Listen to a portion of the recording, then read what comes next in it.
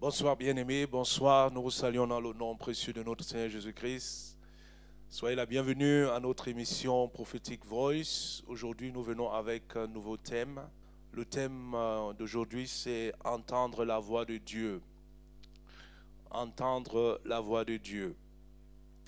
C'est très important ce sujet d'entendre la voix de Dieu parce que nous entendons toujours euh, très souvent les bien-aimés dire que Dieu m'a dit, Dieu m'a parlé, etc., etc. Et nous voulons voir cela aujourd'hui à la lumière de l'Écriture. Donc euh, c'est un sujet, n'est-ce pas, très prophétique parce que, vous vous souvenez, j'avais parlé des prophètes entendants, c'est-à-dire ceux-là qui peuvent, qui ont la grâce d'entendre la voix de Dieu. Mais je vous dis déjà d'entrée de jeu qu'entendre la voix de Dieu n'est pas si facile que cela.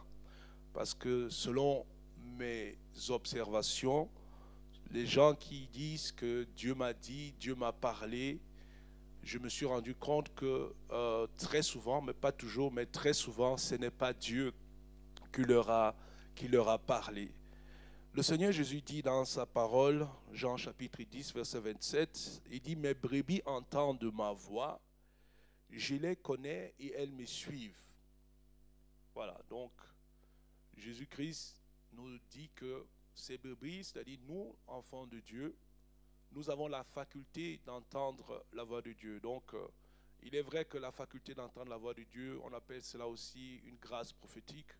Mais chaque enfant de Dieu qui est sérieux avec le Seigneur peut aussi entendre la voix de Dieu.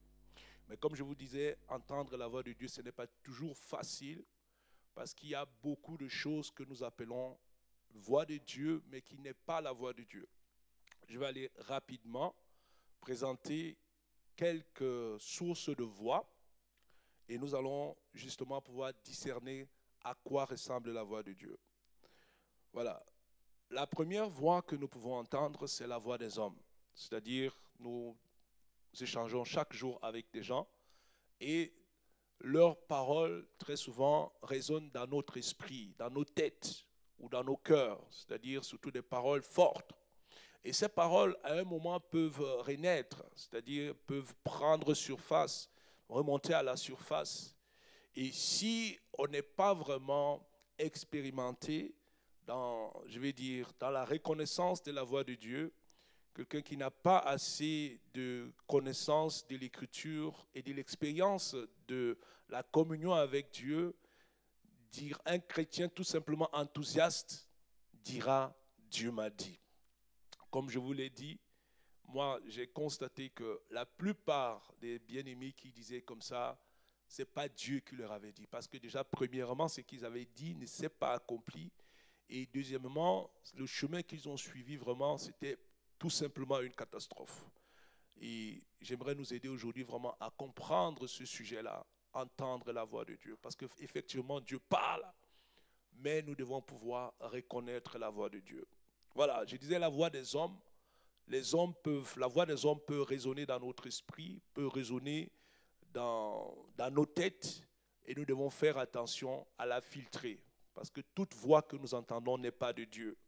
Mais pour celui qui n'est pas, qui n'est pas, je vais dire, expérimenté, il va penser que toute voix qu'il entend est de Dieu. Non, elle n'est pas de Dieu. Nous allons le voir. Hein, la voix des hommes déjà peut résonner dans notre esprit. Nous devons faire très attention. La voix des hommes n'est pas la voix de Dieu. Deuxièmement, il y a ce qu'on appelle la voix du sang. Hein, la Bible dit que euh, le sang de Jésus parle mieux que celui d'Abel. Bon, il y a des gens qui vont dire que non, ça c'est juste une figure de style. Non, il n'y a pas de figure de style. dans le monde spirituel, le sang parle. Euh, Dieu avait demandé à Caïn, Caïn, où est ton frère Abel? Il a dit que, est-ce que je suis le, gardien de mon frère? Il a dit, Dieu lui a dit, la voix de ton frère, la voix de ton frère, la voix du sang de ton frère crie jusqu'à moi. Alléluia. Donc la voix, le sang a une voix, ça c'est l'écriture qui le dit, c'est-à-dire nous pouvons, n'est-ce pas, entendre la voix du sang, puisque nous parlons des choses spirituelles. Tu peux entendre la voix du sang et la prendre pour la voix de Dieu. Et les gens qui ont la faculté d'avoir, je vais dire, des connexions avec le monde spirituel, peuvent entendre la voix du sang, puisque la voix parle, le sang parle, nous dit la Bible. Voilà, donc nous devons faire attention. Euh, Genèse 4, verset 10, et Dieu dit, qu'as-tu fait hein? Genèse 4, verset 10, et Dieu dit, qu'as-tu fait? La voix du sang de ton frère, vous entendez? La voix du sang de ton frère. Ça, ce n'est pas une figure de style. C'est-à-dire que la voix vraiment crie, elle parle. Un cri de la terre jusqu'à moi. C'est-à-dire la voix du sang d'Abel était sur la terre et elle criait jusqu'au ciel. Imaginez-vous le nombre de kilomètres jusqu'au ciel, là-bas où Dieu habite. Il dit que ta voix, sa voix crie jusqu'à moi. Le troisième type de voix que on peut entendre, c'est tout simplement la voix des démons et du diable. Alléluia. Les démons parlent aux gens. Ah, et les démons ne parlent pas seulement en disant aux gens, euh, jette-toi dans les rails, comme on en voit souvent, ou alors prends le couteau, tue-toi, hein, ou alors couche avec cette femme. Là, tu sauras, tu facilement que non, ça, ce n'est pas la voix de Dieu, ce n'est pas, la, pas de Dieu. Mais les démons sont aussi sages. Ils peuvent te dire quelque chose qui semble très logique. Hein. Par exemple, repose-toi, tu, tu n'as pas besoin d'aller à l'église, tu, dois te reposer un peu. Hein, lorsqu'on entend ce genre de voix, on dit oui, ça a l'air logique. Mais tu, vas dire, quelqu'un va, te dire, que non, Dieu m'a dit de me reposer. oui, il est vrai qu'on va se reposer, mais la voix que tu as entendue, bien aimé, ce n'est pas la voix de Dieu. C'est la voix d'un démon intelligent qui te dit repose-toi, hein, repose-toi, et voilà, tu iras prochainement à l'église. Alors que la Bible nous dit chercher l'éternel pendant qu'il se trouve. Vous voyez? Donc la voix des démons, ce n'est pas toujours quelque chose de mauvais, comme j'ai cité là tout à l'heure. Ça peut être aussi quelque chose de très logique. Vous comprenez? Très logique. Je vais vous prendre l'exemple d'un, un exemple d'un couple. Ils m'ont dit un jour que voilà, ils vont, vont déménager. Bon, et vous savez, les enfants de Dieu, très souvent, ils disent que Dieu m'a dit. Non, Dieu m'a dit. Hein? Enfant de Dieu te dit, Dieu t'a dit, Dieu m'a dit, bon là, tu, ne peux rien faire. Alléluia. Dieu est souverain. Quand il te dit, Dieu m'a dit, tu peux seulement te soumettre. Mais moi, je savais que là où ils allaient, ce n'était pas la volonté de Dieu. Mais qu'est-ce que tu vas dire à un frère ou à une soeur qui te disent que Dieu nous a dit qu'on doit aller là-bas? Tu ne peux rien dire. Alléluia. Donc nous devons faire très attention. Et moi, je savais dans mon cœur que ce n'est pas la volonté de Dieu, que Dieu ne leur, a rien dit d'abord. Bon, il est vrai qu'ils ont entendu des choses, mais que ces choses ne venaient pas de la voix de Dieu. Vous voyez, nous devons faire très attention, bien-aimés. Nous ne devons pas appeler tout ce que nous entendons voix de Dieu, que Dieu m'a dit. Les démons parlent, le diable parle. Hein, et il parle aussi de façon très intelligente, très logique. Il peut te donner des, des, des conseils logiques, mais qui ne cadre pas avec la, parole de Dieu. Alléluia. Et plus tard, bon, euh, ce couple, voilà, ils ne sont plus ensemble aujourd'hui, mais parce que je savais, moi je savais déjà que ce n'est pas la volonté de Dieu. Vous comprenez? Mais tu vas dire quoi à quelqu'un qui te dit que Dieu m'a dit? Tu vas juste te soumettre. Amen.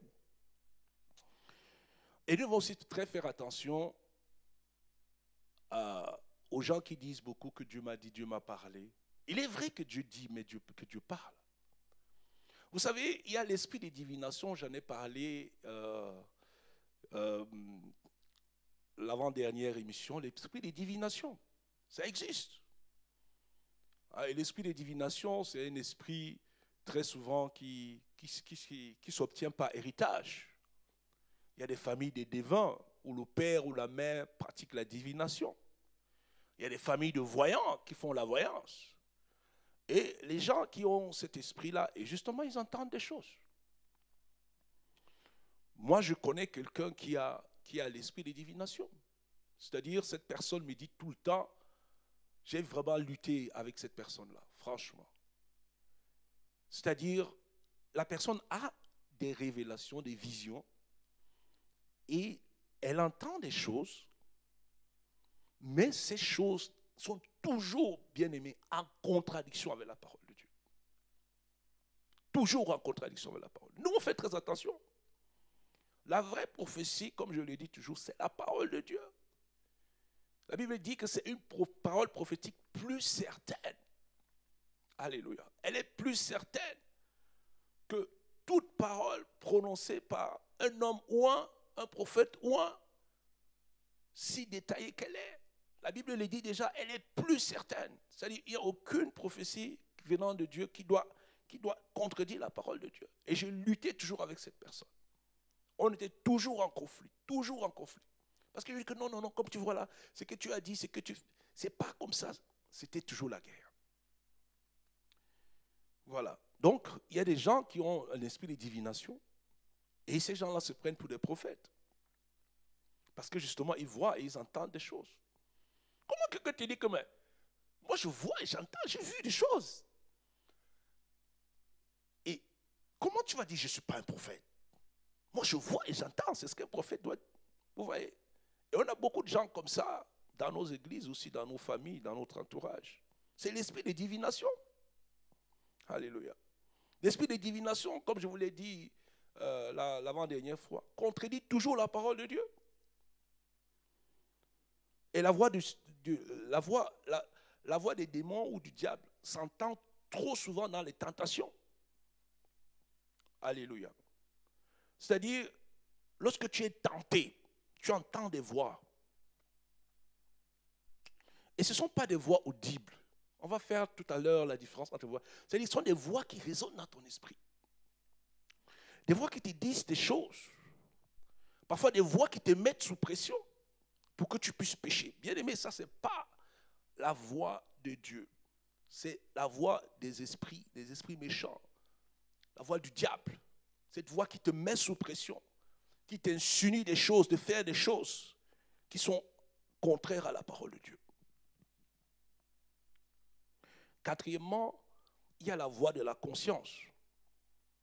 C'est-à-dire, Dieu a donné à tous les êtres humains une conscience.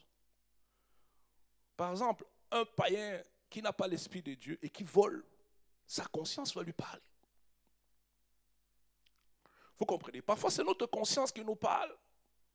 Parce que la conscience, elle est là. La Bible parle, même l'apôtre Paul parle de la conscience, parle de la conscience souillée. Alléluia. La conscience, ce n'est pas, ce n'est pas la voix de Dieu. ce n'est pas la voix de Dieu. Ta conscience peut te reprendre que ce que tu as fait est mauvais. Hein? Ta conscience peut te reprendre que voilà, tu as volé, tu as fait ceci. Hein? Et tu es triste à côté de cela. Par rapport à ça, je vais dire. Parce que ta conscience te reprend. Ta conscience, c'est comme un, euh, un maître qui, surveille tes, tes, actes sur la terre. Mais ce n'est pas, ce n'est pas la voix de Dieu, ça. Alléluia. Les païens entendent aussi des voix, la voix de leur conscience. Aussi les chrétiens entendre la voix de leur conscience. Que la, conscience peut te reprendre. Oh là, ta conscience peut te dire quelque chose. Tu dis non, non, non, ça c'est Dieu qui m'a dit. Non, Dieu ne t'a pas dit. Ce n'est pas encore la voix de Dieu, ça. Amen. Le cinquième type de voix, c'est la voix des anges. Ah oui, la voix des anges. Nous allons le voir dans Acte chapitre 8, verset 26. Acte 8, verset 26. La Bible dit un ange du Seigneur. Dans ce verset-ci, l'accent est sur un ange du Seigneur. Ça, c'est Philippe. Il parle à Philippe. Il dit un ange du Seigneur s'adressant. Écoutez bien. Un ange du Seigneur a parlé à Philippe. Vous comprenez? Il y a la voix des anges. Un ange du Seigneur s'adressant à Philippe lui dit, lève-toi et va du côté du midi sur le chemin qui descend de Jérusalem à Gaza, celui qui est désert. Bon, tu vas maintenant me dire, mais ancien, mais si c'est l'ange qui parle, c'est que c'est Dieu qui parle. Bon, il y a une nuance. Il y a une nuance parce que la Bible n'a pas dit que c'est l'Esprit de Dieu qui lui a parlé, parce que plus tard, c'est l'Esprit de Dieu qui va lui parler. Vous voyez, la Bible nous présente ces nuances-là pour comprendre que ce n'est pas la même chose. Alléluia. Ce n'est pas la même chose. La voix d'un ange, ce n'est pas la voix de Dieu. Il est vrai qu'il vient de la part de Dieu. Alléluia. Mais la Bible ne fait pas la confusion dans ce verset. La Bible dit, un ange du Seigneur, acte 8, verset 6, s'adressant à Philippe. Et quand vous regardez dans les prophètes, vous voyez que dans les prophètes, même dans l'Apocalypse, l'apôtre Jean ne comprenait pas certaines choses. Il demandait à qui? Il ne demandait pas à Dieu, il demandait à l'ange. Et c'est l'ange qui lui parlait. Zacharie, il pose la question, mais ces quatre forgerons, ils sont venus faire quoi? C'est l'ange qui lui, répond. Alléluia. Donc, nous pouvons entendre la voix des anges. C'est biblique. Et nous le voyons ici. Un ange du Seigneur, ce n'est pas l'Esprit de Dieu. Plus tard dans le texte, on dit que l'Esprit du Seigneur, cette fois-ci, lui parla. Mais ce n'est plus, c'était plus l'ange. Alléluia. Donc je suis en train de faire ces différences pour vous montrer que écouter la voix de Dieu, ce n'est pas facile. Alléluia. Mais je sais que tu seras enrichi. Voilà. La sixième voix qu'on peut entendre, c'est effectivement la voix de Dieu. Amen. La voix de Dieu. Là, tu peux vraiment dire que Dieu m'a dit, que Dieu m'a parlé. Alléluia. Voilà. Nous voulons maintenant passer aux différents types de voix divines. Ah oui, il y a différents types de voix divines. C'est-à-dire, la Bible dit que Dieu parle tantôt d'une manière, tantôt d'une autre. Alléluia. Donc Dieu n'a pas une seule façon de parler. Alléluia. Voilà. La première, le premier type de voix de Dieu, c'est la voix audible. Alléluia. La voix audible. Audible veut dire que tu entends une voix, mais cette voix, c'est une voix extérieure. Alléluia. C'est-à-dire, tu as l'impression que le son vient de l'extérieur et tu as entendu une voix. Amen. C'est le cas de l'apôtre Paul lorsqu'il était sur le chemin de Damas. Il a entendu une voix, ce n'était pas une voix interne. Nous allons voir la voix interne euh, plus tard, mais ça c'était une voix externe. Les gens disent même qu'ils ont entendu la voix, mais ils ne voyaient pas la personne. Hein? Dieu peut parler de façon audible, c'est-à-dire que tu entends une voix et tu te tournes, tu dis mais ah, je suis que ça t'est déjà arrivé, où tu entends des voix. Mais j'aimerais juste souligner qu'il y a aussi des esprits, des esprits méchants qui appellent les gens pour faire la nuance. Mais je parle ici de la voix audible de Dieu, où Dieu parle et tu entends la voix, tu t'étonnes que mais quelqu'un m'a parlé, mais je ne vois pas cette personne.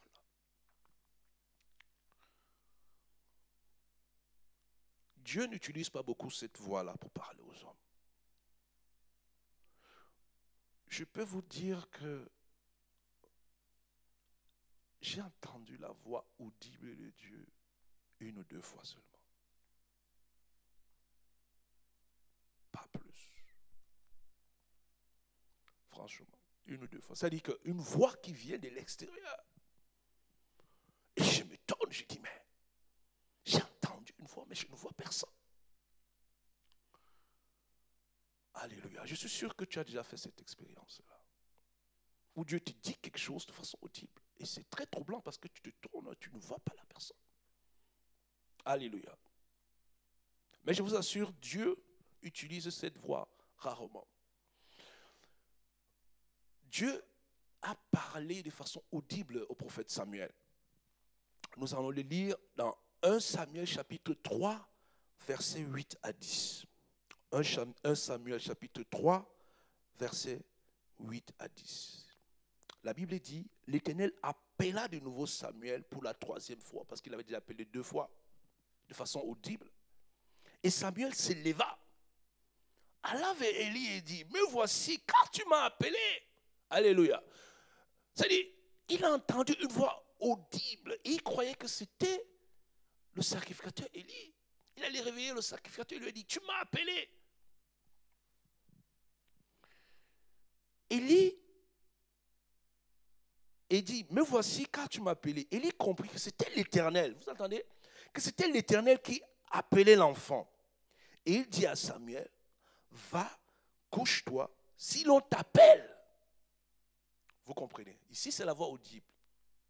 Si l'on t'appelle, tu diras, parle Éternel, car ton serviteur écoute. Et Samuel alla se coucher à sa place. L'Éternel vint et se présenta, et il appela comme les autres fois, Samuel, Samuel.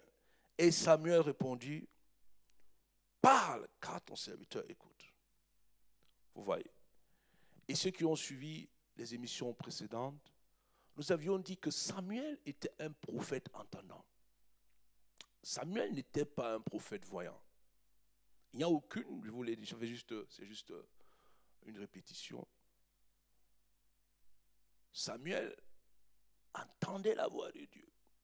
C'est-à-dire, c'était un prophète entendant. C'est-à-dire, il avait la capacité de se connecter dans le monde spirituel et d'entendre la voix de Dieu. Dieu lui parle et lui dit que non, celui-ci, c'est pas lui. Il avait vu Eliab, il a vu, oh, Eliab est costaud. Il dit que non, non, c'est pas lui. Moi, je ne l'ai pas choisi. Vous voyez, comment est-ce que Samuel, par la voix audible, non pas audible, en fait, par la voix de Dieu, parce qu'il pouvait entendre la voix de Dieu, il a pu choisir David et le oindre. Alléluia.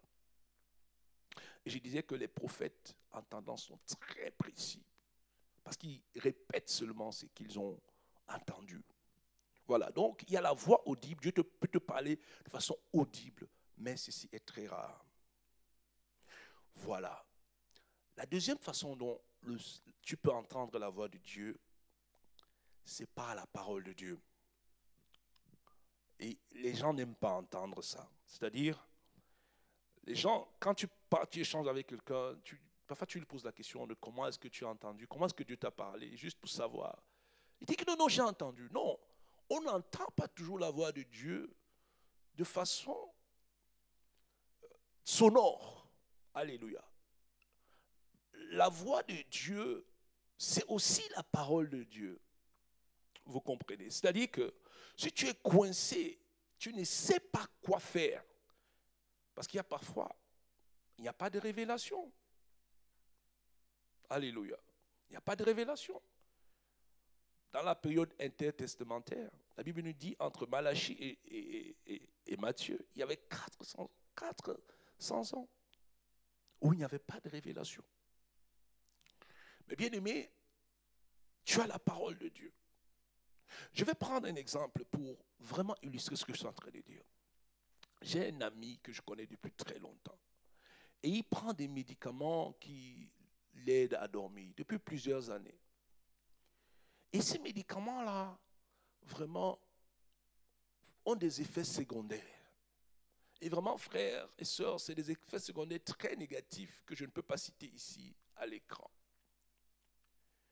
Et j'ai dit à ce frère, frère, euh, toi-même tu vois que certes, ça te permet de dormir, mais les effets négatifs, les effets secondaires sont trop graves tu devrais, s'il te plaît, essayer déjà d'arrêter, ne serait-ce que peu à peu. Alléluia. Vous savez ce que le frère m'a répondu? Le frère m'a répondu que non, il doit entendre, il faut que Dieu lui dise d'abord. Allô? Que Dieu lui parle. Peut-être que tu as parlé à un frère comme ça, il dit que non, non, il faut que Dieu me parle d'abord, que Dieu me dise. Dieu t'a déjà dit dans sa parole. Et la Bible dit que la parole de Dieu, elle est vivante. Oh. Elle est vivante, elle n'est pas morte. Elle est vivante, plus tranchante qu'une épée à double tranchant. Alléluia. La parole de Dieu, elle est vivante. Amen. Elle est vivante. Il me dit que non, il faut que Dieu lui dise, il faut qu'il entende la voix de Dieu. Mais Dieu t'a déjà dit que ton corps est le temple du Saint-Esprit. Alléluia. Ce n'est pas la parole de Dieu, ça. Dieu n'était pas en train de te parler que ton corps est le temple du Saint-Esprit. Et si tu sais que ton corps est le temple du Saint-Esprit, tu n'as pas le droit de détruire ce corps. Alléluia. Ça, c'est la parole de Dieu qui te parle. Dit que Dieu te parle au travers de sa parole. Amen.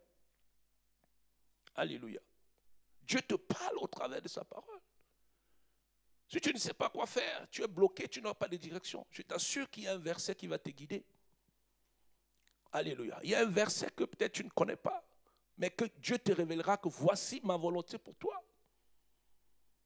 La Bible dit que le témoignage de Jésus-Christ, c'est l'esprit de prophétie.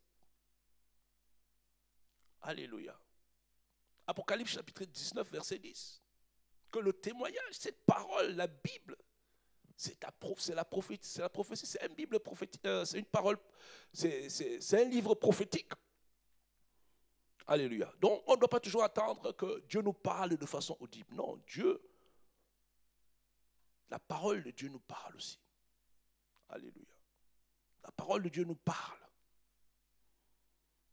La parole de Dieu est une, grande orientation pour nous, pour nous enfants de Dieu. Vous savez, je n'ai pas dit ça aux frères, mais je, dis, je vous dis, je vous l'ai dit maintenant, Dieu ne lui parlera jamais. Pourquoi? Parce que Dieu lui a déjà parlé dans la parole de Dieu. Vous comprenez? Dieu, tu, ne, peux pas forcer Dieu à te parler d'une façon. Non. C'est Dieu qui choisit le moyen par lequel il te parle. Alléluia. Vous dites que non, non, Dieu, moi, je veux seulement que tu me parles. Non. Dieu peut te parler par les rêves, il peut te parler par les visions, il peut te parler par un serviteur, il peut te parler par moi, il peut te parler par la, par, euh, euh, par la prédication. Euh, il peut te parler aussi de voix, par la voix audible. Mais il n'est pas obligé de choisir un moyen pour te parler. Dieu est diversifié, Dieu, Dieu est grand. Il dit que non, il faut que Dieu lui parle. C'est quand Dieu va lui parler. Et je ne lui ai pas posé la question, mais moi je pose maintenant la question devant vous. Quand Dieu lui parlera, il ne saura pas. Il ne saura pas. Vous comprenez? Parce que la parole de Dieu, je veux dire la voix de Dieu, ce n'est pas une chose facile. Il faut de l'expérience. Alléluia. La troisième façon dont Dieu parle, c'est par les visions. Hein? Ici, j'aimerais euh, faire mention du langage imagé. C'est-à-dire que lorsque Dieu parle, vous voyez dans l'Apocalypse, Dieu présente un chandelier hein, et sept étoiles. Ce sont des messages. Hein, sept étoiles. Et il lui dit que les sept étoiles que tu vois là, ce sont les sept anges des églises. Et les sept chandeliers que tu vois, ce sont les églises. Vous comprenez? C'est-à-dire que nous sommes dans une émission prophétique, c'est-à-dire que Dieu peut te parler par la vision, c'est-à-dire qu'il te montre quelque chose et parce qu'il est en train de te montrer, tu n'entends pas la voix audible de Dieu, mais par la grâce de la vision que tu as, tu commences, tu, c'est-à-dire commences à cerner que voici ce que Dieu est en train de dire. Ok? C'est-à-dire que tu peux déterminer la voix de Dieu à travers une vision. Vous comprenez? C'est-à-dire que Dieu te montre quelque chose et au travers de cette vision, tu peux comprendre ce que Dieu est en train de te dire derrière. Vous savez, Parfois, il y a des émissions où il y a une personne qui parle et il y a une personne qui fait des gestes. Dieu utilise toujours, on a parlé du symbolisme récemment. Il utilise des symboles pour te dire des choses. Tu vois des choses dans tes rêves, tu ne comprends même pas ce que ça veut dire. Dieu n'est pas obligé de t'expliquer ces choses. Il te donne juste des symboles et tu ne comprends pas. C'est juste pour éveiller ton esprit, pour que tu puisses comprendre, pour que tu puisses euh, chercher à savoir ce que ça veut dire. Parce que Dieu, comme on l'a dit, parle par des symboles. Donc, la vision est un moyen de discerner, d'entendre la voix de Dieu. Voici la quatrième façon d'entendre la voix de Dieu, et ça, écoutez très bien, c'est la voix la plus fréquente. C'est la voix douce et légère. Alléluia. Cette voix douce et légère, bien aimée, c'est une voix interne. Elle, n'est pas externe. C'est-à-dire, tu n'entends pas une voix audible. Cette voix résonne dans ton esprit. Nous allons le voir. 1 roi chapitre 19, verset 11 à 12. 1 roi chapitre 19, verset 11 à 12. La Bible dit, l'Éternel dit, sors et tiens-toi dans la montagne devant l'Éternel. Et voici l'Éternel passa et devant l'Éternel, il y eut un vent fort et violent qui déchirait les montagnes et brisait les rochers. La Bible dit, l'Éternel n'était pas dans le vent. Et après le vent, ce fut un tremblement de terre. L'Éternel n'était pas dans le tremblement de terre. Et après le tremblement de terre, un feu. Voilà, si tu vois le feu, tu vas dire waouh, ça c'est le Saint-Esprit, c'est la présence de Dieu. La Bible dit non. L'Éternel n'était pas dans le feu. Et après le feu, écoutez bien, un murmure doux et léger. Un murmure doux et léger. Donc, c'est-à-dire que la voix, cette voix de Dieu qui est interne, qui parle dans, le, qui parle dans ton esprit, c'est une voix douce et légère. Ce n'est pas une voix qui parle fort, non, non. C'est une voix douce. C'est la voix du Saint-Esprit. Elle est douce et légère. C'est-à-dire que si tu n'es même pas sensible, tu ne pourras même pas connaître que ça, c'est la voix de Dieu. Alléluia. C'est pourquoi je vous disais, nous devons vraiment faire très attention. La voix de Dieu, ce n'est pas toujours facile à discerner. Toute voix que tu entends, ce n'est pas de Dieu. Tu dois être à mesure de pouvoir discerner que ça, c'est la voix de Dieu. Ça, ce n'est pas la voix de Dieu. Vous comprenez? Et la façon par laquelle le Seigneur parle très souvent, c'est par cette voix interne et douce. Voilà, c'est comme ça qu'il communique généralement ses messages de façon audible. Alléluia. Voilà, maintenant, la question que nous nous posons maintenant, c'est comment activer la grâce d'entendre la voix de Dieu? Puisque nous l'avons vu dans la parole, la Bible dit, Jean chapitre 10, 27, Mes bébés entendent ma voix, je les connais et elles me suivent. Voilà. Donc, la, première façon, la première manière, vraiment ce qui peut t'aider à entendre la voix de Dieu, c'est une vie de sanctification. Vous comprenez?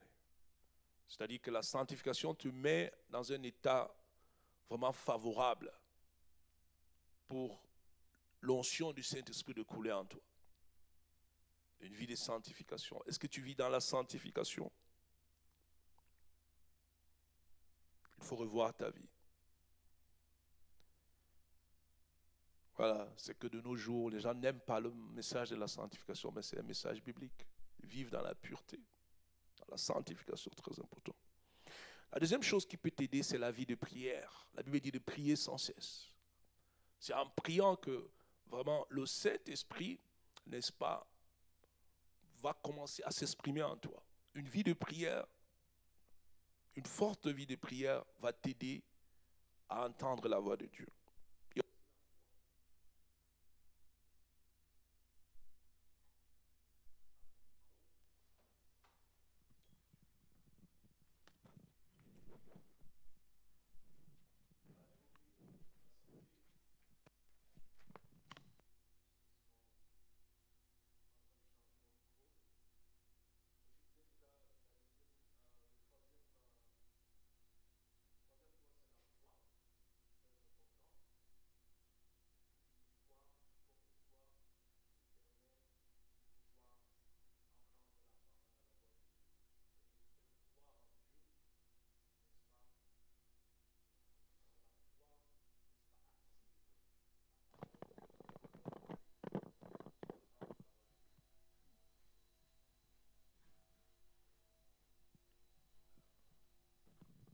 Alléluia.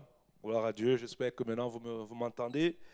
Voilà, vous n'avez rien raté. Hein. Le premier point, c'était la vie de sanctification. Le deuxième point, c'était la vie de prière, une vie de prière intense. Troisième point, c'est la foi. Hein. La foi, c'est très important. La Bible dit que sans la foi, il est impossible de plaire à Dieu. C'est-à-dire que si tu vis une vie de foi, la foi va activer, n'est-ce pas, la grâce d'entendre la voix de Dieu en toi. Ce n'est pas seulement que bon, tu es chrétien et que tu commences à entendre la voix de Dieu. Non. Ce n'est pas comme ça. il faut travailler ça. C'est comme le diamant. Ceux qui connaissent le diamant connaissent l'or. Ils savent que pour trouver le diamant, il faut creuser. Et après avoir creusé, il faut creuser vraiment très en profondeur. Et quand tu prends le diamant, l'or, il ne brille pas encore. C'est-à-dire qu'il faut, faut, faut, travailler ça quoi, pour qu'il puisse briller. Vous comprenez? Donc, c'est comme ça, la voix de Dieu, entendre la voix de Dieu. Hein, voilà l'évangélisation. Au fait d'évangéliser, de prêcher la parole de Dieu. Hein, tu es sous l'onction du Saint-Esprit. Et le Seigneur, n'est-ce pas, peut t'utiliser. Tu dis, voilà, comme tu es en train de prêcher là, va parler à, telle personne. Et moi, je vous assure, l'évangélisation, vraiment, c'est un moyen très, très efficace pour entendre la voix de Dieu. Écoutez très bien. C'est-à-dire que lorsque tu... Et regardez même, c'est Philippe. Hein, J'ai pris l'exemple de Philippe tout à l'heure. Hein. Philippe devait parler à l'eunuque éthiopien. Mais Philippe n'aurait jamais su qu'il devait parler à l'eunuque éthiopien. C'est parce qu'il était en train d'évangéliser. Vous comprenez Et Philippe, finalement, il était un diacre à cette époque. Il avait la grâce évangélique. Et dans Acte chapitre 21, la Bible dit qu'il était devenu évangéliste et il avait sept filles vierges qui prophétisaient. Je vous assure, bien aimé, l'évangélisation, c'est un outil puissant, très puissant même, pour entendre la voix de Dieu. Franchement, si vraiment tu as soif d'entendre la voix de Dieu, tu dois prêcher l'évangile. Parce que c'est là quand tu te mets, tu te, c'est-à-dire que tu te, tu, te mets à parler de, de, de, de Dieu aux gens. C'est là où l'Esprit de Dieu commence à t'utiliser puissamment. Que non, va parler à telle personne, que celle-ci, elle a besoin, il faut lui parler. Hein, il faut insister sur cette chose-ci. Hein, et c'est là même que la grâce prophétique même se manifeste. C'est-à-dire que le Saint-Esprit t'aide que cette fille, elle a un problème de telle, telle chose. Bien aimé, ce sont des choses que nous avons expérimentées, que toi-même tu as expérimenté peut-être sur le, euh, sur le champ d'évangélisation. C'est un moyen puissant d'entendre la voix, la voix de Dieu. Franchement. Tu pourras faire cette expérience et tu me diras que j'ai raison. Comment le Saint-Esprit t'utilise, il te montre que non, va plutôt parler à cette personne. Parle à cette personne. Ce n'est pas forcément de voix passant audible, mais Dieu te dit que voici cette personne à laquelle tu vas parler. Et comme ça, tu grandis dans cette grâce-là. L'évangélisation est un outil très puissant pour entendre la voix de Dieu. Amen. La lecture biblique, très important. Lire la Bible de Dieu. La Bible dit que ce livre de la loi ne se loigne pas de ta bouche. Tu le méditeras chaque jour pour agir fidèlement selon ce qui est écrit. Hein? Justement, la méditation. Et le dernier point, c'est les retraites. Euh, je ne parle pas seulement des retraites à l'église, comme on a l'église, je parle des retraites personnelles. Tu prends une retraite, tu te retires pour chercher Dieu. Bon, il est vrai qu'en Europe, c'est un peu, compliqué parce qu'on travaille beaucoup et tout ça, mais ceux qui sont nés en Afrique savent que tu, tu, tu dois aller en retraite. Amen. Tu, dois prendre une retraite personnelle. De temps en temps, tu dois t'enfermer quelque part. Ce sont des choses que les gens, beaucoup ont oublié, les retraites. Les retraites, c'est un moyen puissant pour entendre la voix de Dieu. Où tu t'enfermes. Hein? Quand je parle de retraite, c'est vraiment retraite. Hein. Ce n'est pas que tu as, tu as ton iPad devant toi, tu, tu, tu, tu, as, tu as ton portable, tu as tes gadgets, tu as ton laptop. Non Où tu te retires vraiment. Où tu n'es pas vraiment joignable pendant plusieurs heures, où tu dis ici, je veux, je, je, veux entendre Dieu, je veux, je veux écouter Dieu, je. Les retraites.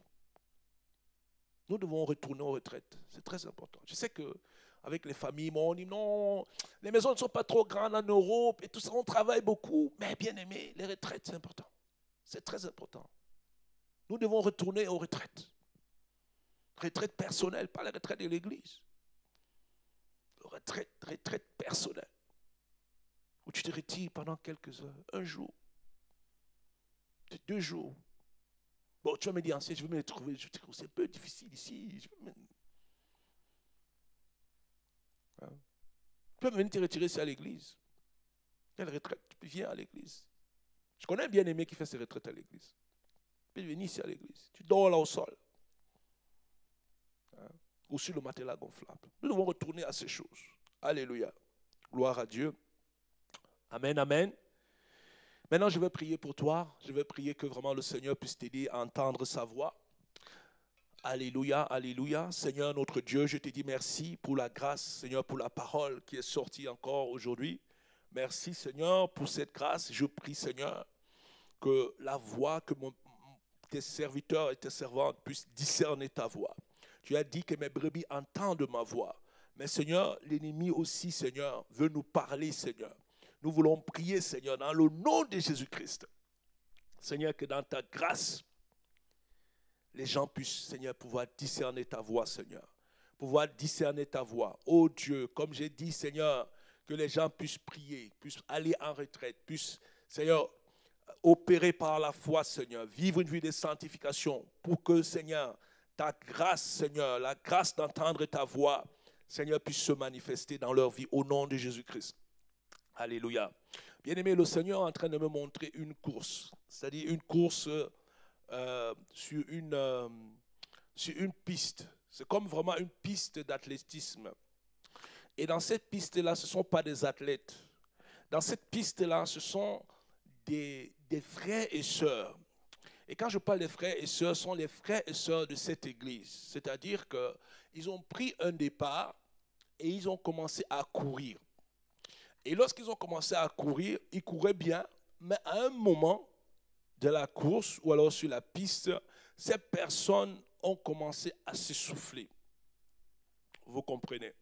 Et quand je regarde par rapport à la moitié de la course, c'est quelque chose qui est, tu vois, comme, comme juin. Hein? la course, là, ce n'est pas une course physique, c'est une course spirituelle.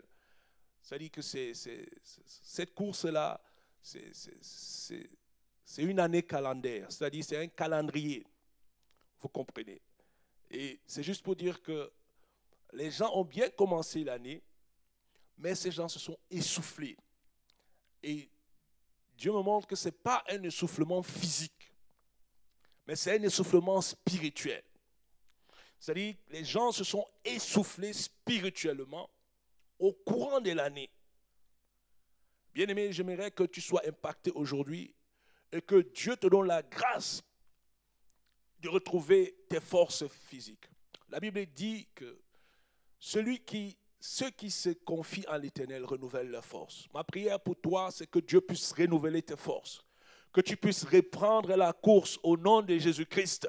Je prie que tu reprennes la course, que tu reprennes les forces spirituelles et que tu te remettes en route parce que le Seigneur Jésus revient bientôt.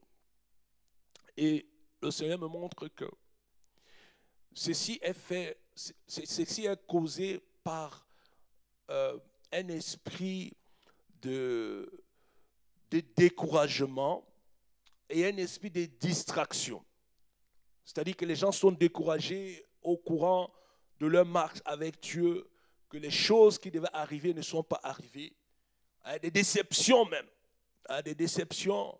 On attendait ceci, mais on a plutôt obtenu le contraire. Et ceci a affecté les saints dans l'Église. Et Dieu dit que tu ne dois pas te décourager. Tu dois revenir dans la maison de Dieu. Toi qui es concerné par cette parole, toi qui as été déçu, toi qui euh, s'est laissé aller dans le désordre, de revenir dans la maison de Dieu, de revenir travailler dans la maison de Dieu. Parce que le Seigneur Jésus revient bientôt. Le Seigneur Jésus revient bientôt et toi, tu dois être prêt. Tu dois travailler dans la maison de Dieu. Ne te laisse plus décourager par les choses de la vie. Il est vrai que ça fait très mal les déceptions. Il est vrai que c'est très dur à accepter, mais Dieu te donne aujourd'hui une nouvelle chance et Dieu te donne de revenir à lui. Que tu puisses revenir à lui. Nous avons nos trois mois de réveil. Le réveil, c'est dire revenir à Dieu. Reviens au Seigneur. Reviens au Seigneur. Tu peux être découragé, mais Dieu te dit de, te, reprendre courage, de reprendre courage et de revenir dans la maison de Dieu. Au nom puissant de Jésus, je viens prier contre tout esprit de découragement, tout esprit qui décourage, Seigneur, tes enfants dans le chemin. Je viens prier, Seigneur, que tes enfants, Seigneur, se remettent en route, Seigneur, pour travailler, Seigneur, comme la Bible le dit, à leur salut avec crainte et tremblement. Je viens menacer les esprits qui dérangent nos frères au nom de Jésus. Je prie au nom puissant de Jésus que nos frères puissent reprendre la route spirituelle. Bien-aimé, reprends la route spirituelle. Reprends la route spirituelle au nom puissant de Jésus-Christ. Que Dieu te donne la force de revenir à lui. Que Dieu te donne la force de revenir à lui, de marcher dans ses voies. Au nom de Jésus-Christ. Je viens prier contre tout esprit de découragement. Que l'esprit de découragement te quitte maintenant au nom de Jésus. Que l'esprit de distraction te quitte au nom de Jésus-Christ. Alléluia. Voilà, j'entends encore prétexte. Vous savez, les gens prennent beaucoup de prétextes. C'est-à-dire, un prétexte, c'est que tu veux faire quelque chose, mais tu ne fais pas cette chose-là. Et tu donnes quelque chose, une raison qui n'est pas vraiment une raison fondée. Vous comprenez? C'est-à-dire, le Seigneur me montre qu'il y a des gens qui, font, ont beaucoup de prétextes. Le prétexte, c'est que, bon, le travail. Bien aimé, nous travaillons tous. Vous comprenez? Nous travaillons tous. Euh, nous avons les mêmes charges ici en Europe. Mais c'est celui qui se fait violence qui a la part de Dieu. Arrête de donner les prétextes, bien-aimés. Les prétextes que non, c'est parce que j'ai beaucoup travaillé, c'est parce que... Non, non, non. À ce moment de réveil, Dieu appelle tout le monde dans sa présence. Tu dois arrêter de donner les prétextes. Ces prétextes-là, ce n'est pas de Dieu. Ces prétextes, c'est juste, comme je disais tout à l'heure, une ruse de l'ennemi pour te garder loin de la présence de Dieu.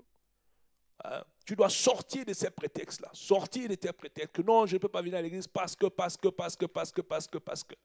Donner des raisons. Moi, je vais vous prendre encore un exemple. Moi, je n'ai jamais raté le culte parce que, parce que je devais étudier ou parce que je devais aller jouer. Moi, j'ai fait toutes ces choses-là. Parce que Dieu, pour moi, a toujours été la priorité. Vous comprenez? Bien-aimé, Dieu doit être la priorité pour toi en 2023. Ce n'est pas euh, le plaisir. La Bible dit qu'à la fin des temps, les gens aimeront le plaisir plus que Dieu. Et c'est ce qu'on voit. Ils aiment être dans le plaisir, ce que les hommes appellent le spaß. Et c'est un des premiers mots que j'ai appris en allemand. Spaß, spaß. Vraiment, c'est le mot que j'ai appris le plus facile. Tout le monde, quand je suis arrivé en Allemagne, tout le monde parle du spaß. Et je suis sûr que tout le monde connaît, quand tu arrives ici, la première semaine, tu connais le mot passe. C'est-à-dire le plaisir. Ah. Le plaisir, la recherche du plaisir, bien aimé. Le plaisir, ça n'a rien de mal en soi. Mais trop de plaisir tue l'action du Saint-Esprit. Alléluia. Arrête de donner les prétextes et fais-toi violence et viens dans la présence de Dieu. Hein? Parce qu'il y a des gens qui donnent toujours les prétextes. Non, je dois travailler, je dois travailler. Je suis fatigué. Nous sommes tous fatigués. Je ne suis pas en forme. J'ai travaillé avant de venir ici. La Bible dit que le royaume des cieux, depuis les jours de Jean-Baptiste jusqu'à présent, il est forcé. Et ce royaume appartient aux violents, ceux qui se font violence. Bien aimé, la vie spirituelle, ce n'est pas une vie d'aisance. Non, non, non. Ce n'est pas une vie de confort. Non, non, non, non. Ce n'est pas une vie de confort. C'est une vie de sacrifice. Une vie où on se dépasse chaque jour. Une vie vraiment où il faut toujours donner plus. Ceux qui travaillent dans les entreprises, ils le savent. Cette année, vous avez fait un chiffre d'affaires, disons 10 millions. L'année prochaine, on attend au moins 5%. Et après l'année qui suit là, encore au moins 5%. Même au travail, tu dois donner plus c'est-à-dire la performance de 2022 ne te permet pas d'atteindre les buts de 2023. Parce qu'on augmente les, objectifs. Tu dois travailler plus dur pour atteindre les objectifs de 2023. Et les objectifs de 2024 seront encore plus élevés. Et c'est ce que nous faisons tous au travail. Nous avons beaucoup de stress au travail. Pourquoi? Parce qu'on nous demande toujours un peu plus. Et avec Dieu, c'est la même chose. Il faut faire toujours plus. Vous comprenez? Alléluia. Bien-aimé, arrête de faire, de donner des prétextes. Les prétextes, ce n'est pas de Dieu. Alléluia. Tu dois venir dans la présence de Dieu. Tu dois participer au programme. Tu dois te faire violence et chercher la présence de Dieu. Et c'est ça qui affaiblit les frères. C'est ça qui affaiblit les sœurs. Ces prétextes-là. Non, je ne peux pas venir parce que j'ai j'ai la visite à la maison, je dois travailler, je dois faire les études. Je vous assure, moi, je n'ai jamais raté un culte parce que je préparais des examens. Jamais, moi, je ne connais pas ça. C'est ici en Europe que j'ai appris. Tu demandes à un frère, frère, où tu étais? Ah, je devais préparer des examens. Ah, ah bon? Donc quand tu prépares des examens, tu viens pas à l'église? Vous voyez comment l'ennemi trompe les gens. Tu peux faire trois mois, tu ne vois pas un frère et tu dis non. J'étais en train de préparer mes examens. C'est pas sérieux, bien aimé. Et c'est comme ça que l'ennemi prend l'avantage sur nous. Nous devons nous faire violence. L'Église s'affaiblit à cause du manque de passion pour le Seigneur, à cause du manque d'engagement pour Dieu. Le Seigneur me montre que des gens sont fatigués. La fatigue, ils n'arrivent pas. Mais ma prière aujourd'hui, c'est que Dieu te redonne le courage, que Dieu te redonne la force, et que tu retrouves les forces pour pouvoir les servir de nouveau. Le servir de nouveau. C'est ça, le servir de nouveau. Pour aller de l'avant, bien-aimé. Bien-aimé, je t'assure, je sais que je suis en train de parler à beaucoup de personnes. Ta performance spirituelle de 2022 ne te permet pas de vivre en 2023. Reçois cette parole au nom de Jésus. Je répète encore, ta performance spirituelle de 2022 ne te permet pas de vivre en 2023. Ce n'est pas possible. Et la même chose, ta performance spirituelle de 2023 ne te permettra pas de vivre en 2024. Si tu continues de vivre avec le rythme de 2022, tu te fatigues. Tu vas te fatiguer en route. Comme le Seigneur m'a montré. Que tu es fatigué spirituellement. Les choses de Dieu, ça ne t'intéresse plus. Le péché, tu joues avec le péché comme c'était un jouet. La prière, n'en parlons plus. La Bible, n'en parlons pas. C'est le plaisir qui prend, qui prend place. Tu dois revenir, revenir, revenir, revenir, revenir. Dieu dit de revenir dans sa présence. Alléluia. Bien aimé, le salut, c'est la chose la plus importante que tu peux avoir sur la terre. Malheureusement, les enfants de Dieu ne peuvent, ne le savent, ne comprennent pas. Mais le diable et ses agents savent. C'est pourquoi il combat, il combat, il combat ton salut. Il combat pour que tu reviennes dans ces choses-là. Mais tu dois lui résister au nom de Jésus. Tu dois lui résister au nom puissant de Jésus-Christ. Alléluia. Bien-aimé, je suis aussi en train de voir une récolte. Alléluia. Un champ avec des fruits mûrs. Et ces fruits mûrs-là, ce n'est pas, pas des fruits physiques, mais sont des dons, des grâces que Dieu prépare pour ceux-là qui sont des vainqueurs. Et Dieu t'appelle dans ce champ. Hein? Ce champ-là, c'est sa présence pour que tu puisses jouir, jouir, jouis, jouis des fruits qu'il a pour toi. Alléluia. C'est comme dans l'Apocalypse, Jésus dit, c'est à celui qui vaincra, je donnerai un caillou sur lequel est écrit un nom que lui seul connaît. Dieu veut que tu puisses vaincre. Dieu veut que tu puisses surmonter tes situations, surmonter les difficultés. Tout le monde a des difficultés. Alléluia. Il ne faut pas dire non, j'ai beaucoup de problèmes. Tout le monde a des problèmes. Mais Dieu attend de toi que tu puisses surmonter ces problèmes-là par la foi. Hein? Que de rester, rester à la maison, juste regarder la télé, euh, s'amuser. Non. Ce n'est pas comme ça qu'un enfant de Dieu doit vivre. Un enfant de Dieu, il est vrai, bon, de temps en temps, un peu. Mais c'est le spirituel qui, va dominer, qui doit dominer dans la vie d'un enfant de Dieu. Ce n'est pas le plaisir à outrance.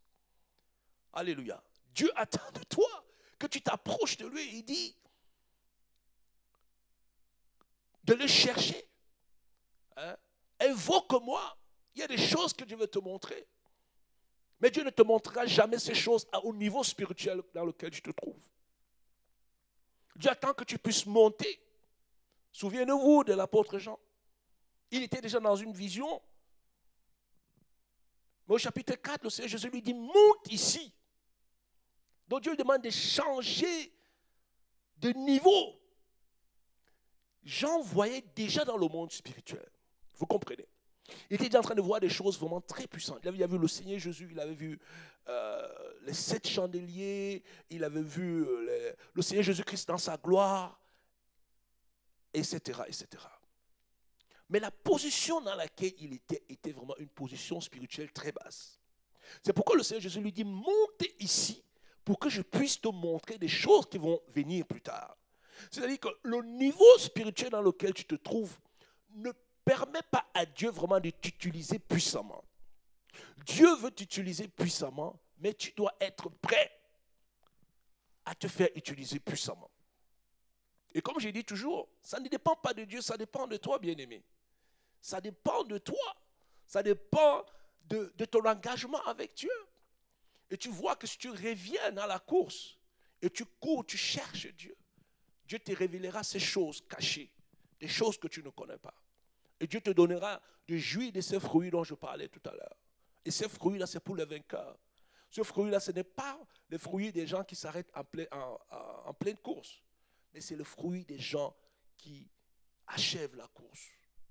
Dieu te veut à lui, Dieu aimerait que tu puisses revenir à lui, Dieu aimerait que tu puisses reprendre des forces, parce que Dieu lui-même a dit qu'il est le rémunérateur de ce qu'il cherche. Dieu a des grands projets pour toi, mais le diable aussi a des projets pour toi. Tu ne dois pas céder aux tentations, tu ne dois pas céder aux prétextes, comme je disais au prétexte, oh, je suis trop fatigué, oh, je dois aller visiter telle personne. Tout ça sont des prétextes. Et quand tu vis dans une vie de prétexte, c'est une vie de mensonge. C'est-à-dire tu donnes des raisons qui ne sont pas vraiment des raisons. Tout simplement pour être une vie de confort, une vie non spirituelle. Et c'est le spirituel qui domine le physique.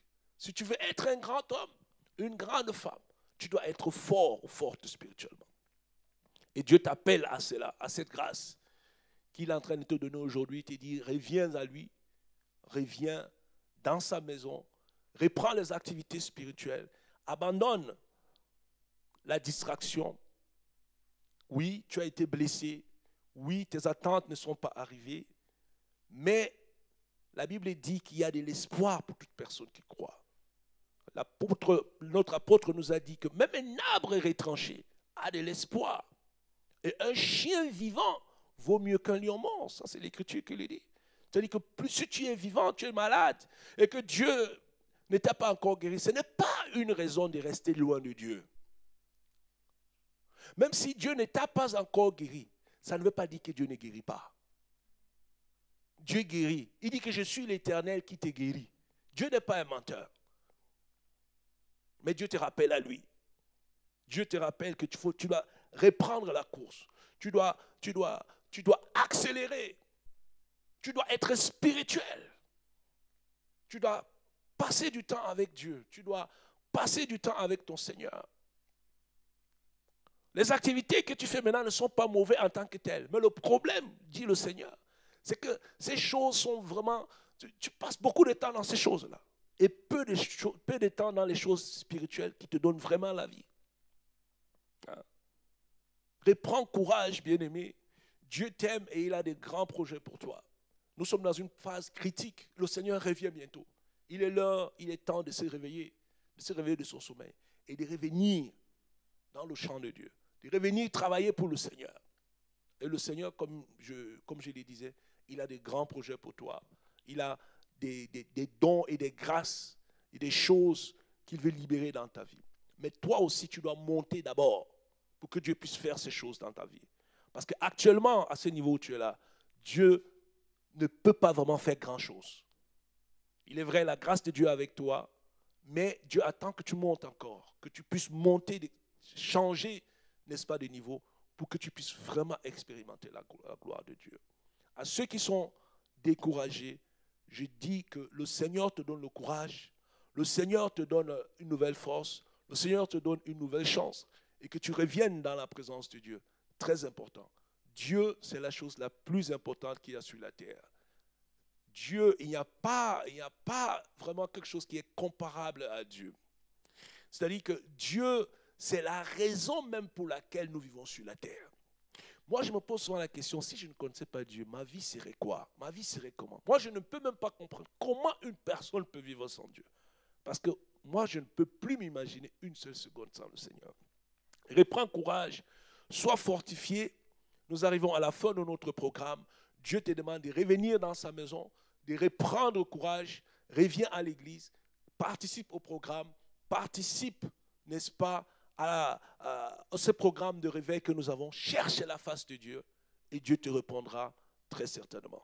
Shalom, shalom, que Dieu vous bénisse et on se reprend prochainement. Amen.